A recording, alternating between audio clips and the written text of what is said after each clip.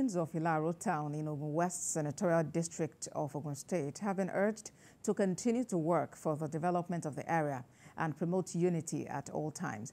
Uh, the state governor, Dapo Abiodun, made the call during the grand finale of the 2023 edition of an annual festival in the community. TVC News Kazim Olowe has more.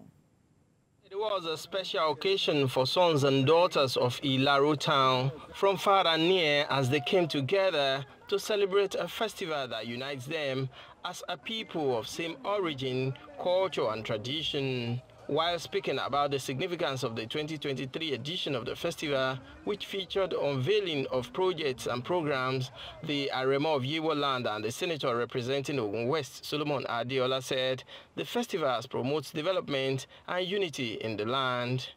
He also promised to continue to use his good office to facilitate development. I want to say that it's quite significant and it has been quite remarkable for the last 30 years down the line. I'm appreciative of the mandate given to me by the people of Ogun West. And I want to say that I am there to represent them and give them quality representation because I know a lot that we went through to get to where we are. So I cannot but continue to do only those things that will improve on the overall well-being of my people. So attracting more developmental projects to the West and its environs is not something that uh, I toy with. It's something that I mean, and I will do everything to ensure that I attract so many projects across the divide.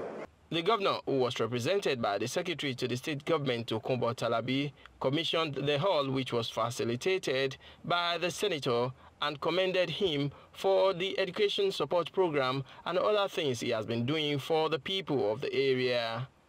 Also, we cannot but thank our own senator also through our shared potential leaders. I want to see the hall. The hall is indeed also modern. Even the, the compound is, is very good. The Olu of Ilaro and paramount ruler of Yewa land, Oba Kehinde Olugbenle on his part, commended the governor of the state, the senator representing the area and other stakeholders for their support and efforts in the development of the area and Ogun West in general. The event was attended by notable indigents of Yewa land and other guests across the country, featured special recognition of the Aremo of Yewa land for his support for his people. Kazim Olowe, TVC News, Ilaro.